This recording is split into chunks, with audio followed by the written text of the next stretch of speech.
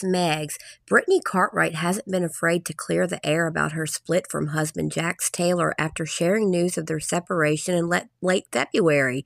The Valley cast members and parents to son Cruz first announced they were separating and living in different homes at the end of February.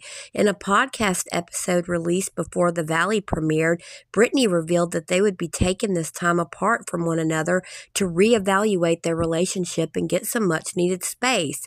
While some people were surprised by this announcement, others, like the Vanderpump Rules cast member Katie Maloney, was not. During a recent appearance on the Reality Moms podcast, Brittany acknowledged that her and Jax's separation might have come out of left field for some, but she reiterated that this was a very serious separation between them.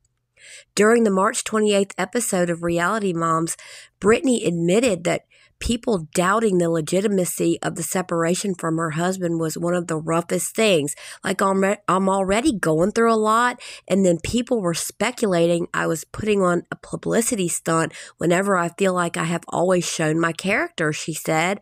I felt like people should just know that I wouldn't do something like that, especially for my son Cruz, she added. Like I would never put him through something like this if it wasn't real.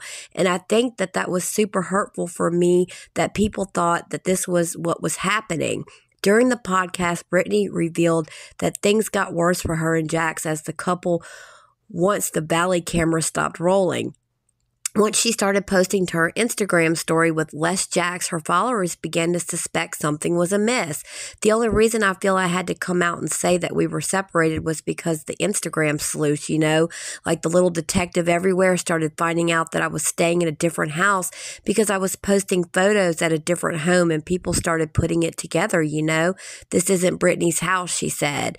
When the rumors started going crazy, Brittany and Jax decided it was time to finally release a statement. I would would rather have the truth out than all of these rumors spiraling, she said. During the episode of Reality Moms, Brittany revealed that she was the person who decided to put the separation between her and Jax in motion, but it wasn't easy for her. Brittany cited their two year old son, Cruz, as a reason behind the split.